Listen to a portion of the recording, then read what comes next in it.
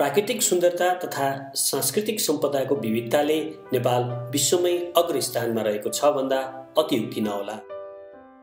छोटो दूरीमै रहेको भौगोलिक विविधता त्यस अनुरूपको मौसम तथा त्यस क्षेत्रमा पाइने वन्यजन्तु होस् वा जडीबुटी र वनस्पति हरेक दृष्टिले नेपाललाई जैविक विविधताले सम्पन्न बनाएको छ।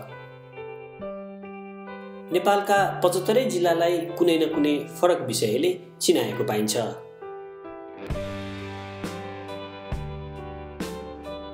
यस्तै सुदूरपश्चिमका जिल्लाहरूमध्ये कञ्चनपुरलाई चिनाएको छ वन वन्यजन्तु र जैविक विविधताले।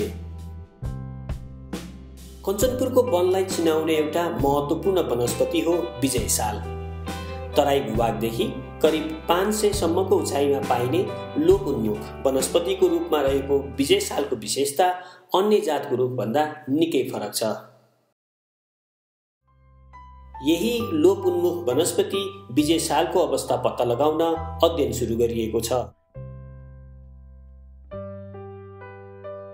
जिल्ला वन कार्यालय कञ्चनपुरले विजय सालको घना जङ्गल रहेका कञ्चनपुरका विभिन्न सामुदायिक वनमा विज्ञको टोलीसहित अध्ययन सुरु गरेको हो। तपाईँको जस्तै दुईवटा कुरा हुन्छ। जुन जस्तै हामीले यहाँ साल देखिरहेको छौँ होइन? साल भनेको तपाईँको समान रूपमा वितरण भएको छ।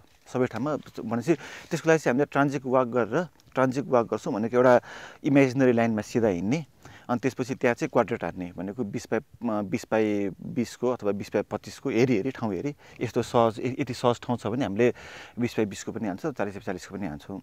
तर हाम्रो यो विजय सालको जुन जुन जुन हामीले अहिले अध्ययन गर्न आएको छौँ विजय साल चाहिँ तपाईँको वितरण समान छैन यसको। जस्तै एउटा यहाँ हुन्छ भने अर्को धेरै पर हुन्छ। यसलाई हामीले क्वाड्रेट स्याम्पलिङ गऱ्यौँ भने अब जङ्गलमा हुन्छ पाँच पन्ध्र बिसवटा।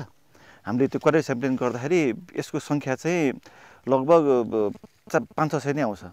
अनि सिएलआई चाहिँ हामीले क्वालिटी स्याम्पलिङ न के नगरिकन सिलेक्टिभ स्याम्पलिङ गर्छौँ। यसमा चाहिँ पार्टिसिपेटरी मेथडमा जस्तै हाम्रो समुदायको साथीहरू हुनुहुन्छ। उहाँहरूसँग इन्फर्मेसन दिन्छौँ। इन्फर्मेसन दिइसकेपछि जुन जुन ठाउँमा छ त्यो ठाउँमा गएर हामीले इन्भेन्ट्री गर्छौँ अध्ययन गर्छौँ। त्यो सँगसँगै हामीले अघि हामीले यहाँ माटोको पनि यसको जुन अब यो नेपालमा धेरै नै कम जस्तै सुदूरपश्चिमको कञ्चनपुरमा धेरै हुने भएको कुराले गर्दाखेरि यहाँको मा यहाँको यहाँको माटो कस्तो हामीले त्यो पनि अध्ययन गर्छौँ। विजयसाल पाइने क्षेत्र पुनः उत्पादनको अवस्था विजयसाल पाइने माटो र परिमाण र सदुपयोगको अवस्था पत्ता लगाउन अध्ययन सुरु गरिएको हो। चुरेको फेदी र तराईको सिरान विजयसालका लागि उर्वर भूमि मानिन्छ। कपिल वस्तुपछि सबैभन्दा बढी मात्रामा विजयसाल पाइने क्षेत्र कञ्चनपुरको चुरेफेदी हो। अहिले करिब दसवटा रुख प्रति हेक्टर रहेको अध्ययनले देखाएको छ। अनुसार चाहिँ सामुदायिक वन जुन बन्न थाल्यो त्योभन्दा अगाडि चाहिँ यो यत्तिकै जथाभावी काट्ने घर आँगनमै वनमा प्रशस्त पाइने भन्ने बुझेको थियो। र उहाँहरूले नबुझेर या बुझेर के हो काटेर दाउरामा प्रयोग गर्नुहुन्थ्यो भन्ने कुराहरू बुझ्यो। र पछि सामुदायिक वनको कार्ययोजना जब आयो र यसको महत्त्वबारे अलिअलि चाहिँ विभिन्न माध्यमहरूबाट बुझ्न थालियो त्यसदेखि उहाँहरूले यसलाई अलिकति कन्जर्भेसन गर्न थाल्नु भएको छ। र अब उहाँहरूले अब यसमा अलिकति फोकस गरेर अब कतिपय सामुदायिक वनहरूमा त नम्बरिङ समेत गरेको देखियो ट्यागिङ प्रत्येक रुखहरूमा ट्यागिङ गरेको समेत देखियो।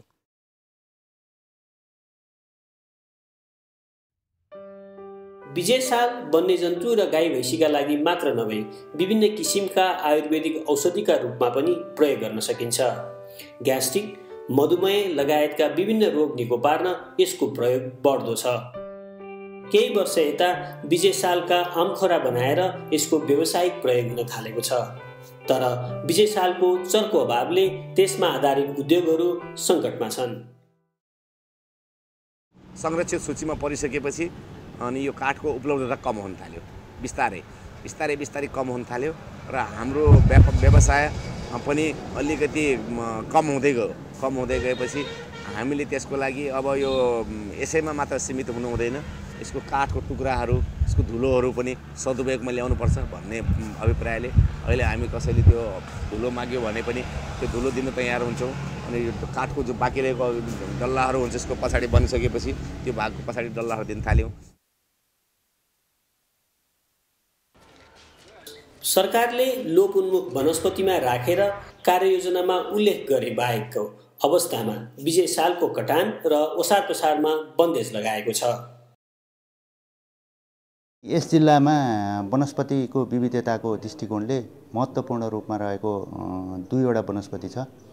विशेष गरी विजय साल र जङ्गली सिजौ जङ्गली सिसौ पनि यस क्षेत्रमा पहिलेदेखि पाइने भएको हुनाले जङ्गली सिसौको जेनेटिक इम्पोर्टेन्स बढी छ। र विजय साल चाहिँ यो औषधिमा प्रयोग गरिने भएको हुनाले र यो नेपाल सरकारले कटान ओसार पसारको लागि चाहिँ प्रतिबन्धित रूपमा राखिसकेको र यसको चाहिँ वृद्धि अभिवृद्धि गरेर मात्रै यसको विकास गर्न आवश्यक छ भनेर समुदायहरू पनि लागिरहेको अवस्थामा यो दुईवटा वनस्पतिहरू महत्त्वपूर्ण छन्। अर्को यसभन्दा बाहेकको सान्दान भन्ने अर्को वनस्पति पनि छ त्यो पनि धेरै कम मात्रामा पाइन्छ यस जिल्लामा। त्यसको पनि सर्वेक्षण गर्नुपर्ने जरुरी देखिन्छ। र यस लगायत अन्य साल प्रजाति नै पनि त्यसको संरक्षण गर्नुपर्ने देखिन्छ। किनकि कतिपय वनहरूमा साल प्रजाति नभएर अन्य नचाहिँदो किसिमको रोहिणी अन्य किसिमका प्रजातिहरूको चाहिँ बाहुल्यता बढ्दै जाँदा साल प्रजातिलाई दबाएको देखिन्छ। त्यस कारणले महत्त्वपूर्ण प्रजातिहरूको चाहिँ व्यवस्थापन गर्नुपर्ने पनि चुनौती देखिएको छ।